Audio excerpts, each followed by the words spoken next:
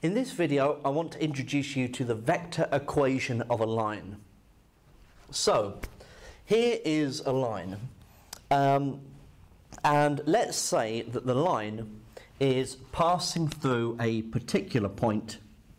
Let's say uh, this point has coordinates, um, I don't know, 4, 3, 2. Okay? So, we know that this line is passing through a point, and this coordinate, A, itself has a position vector. Okay? So, it has a position vector linking up with the origin O. Okay? So, here is how I can get from O to A. So that would be 4, 3, 2. Okay?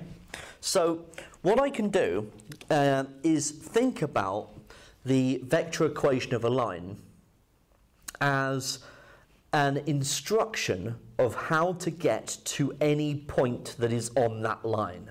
Okay? How do I get to any point on that line?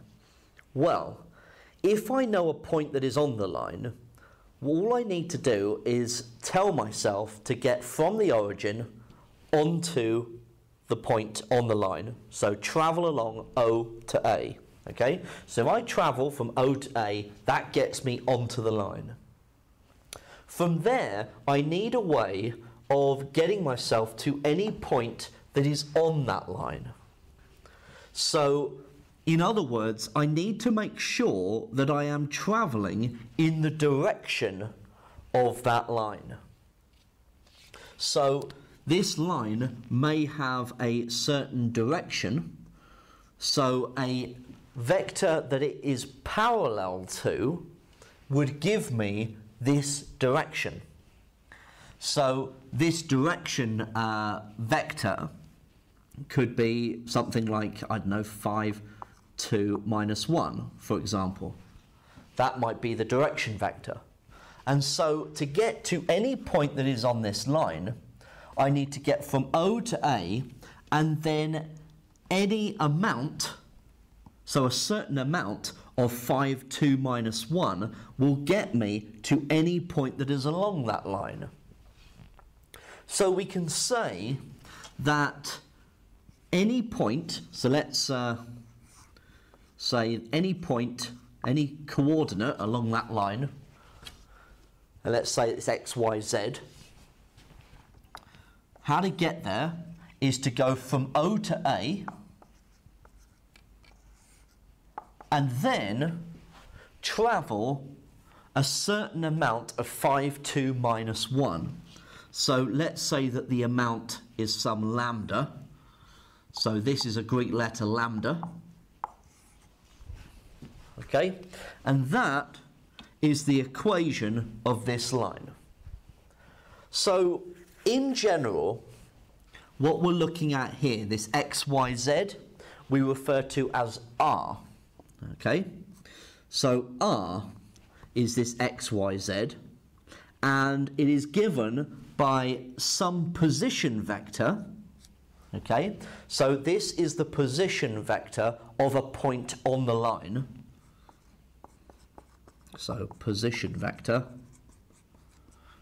of a point on the line and it doesn't matter which point you choose okay? I could have had another point over here so a point B okay? And I could have used that as the position vector here. It doesn't matter. It wouldn't actually change the equation. Although the numbers would it would look different it would be it work work in the same exact way. So you have A the position vector plus lambda some multiple of a direction vector. So the direction vector is this b. So this is the direction of the line. Okay, so it has these two important points. And it links up with how we found the equation of a straight line in two dimensions. So if we were just looking, if I just asked you find the uh, find the equation of a straight line, then you know that the equation of a straight line is given by y equals mx plus c.